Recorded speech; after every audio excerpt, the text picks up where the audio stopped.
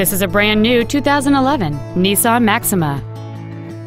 It has a 3.5 liter six cylinder engine and an automatic transmission. Its top features include a heated driver's seat, air conditioning with automatic climate control, cruise control, a premium audio system, leather seats, a multi-link rear suspension, alloy wheels, a low tire pressure indicator, an auto-dimming rearview mirror, and a navigation system. Stop by today and test drive this vehicle for yourself. Thank you for shopping at LeBlanc Nissan, conveniently located in Gonzales between Baton Rouge and New Orleans at 14295 Airline Highway.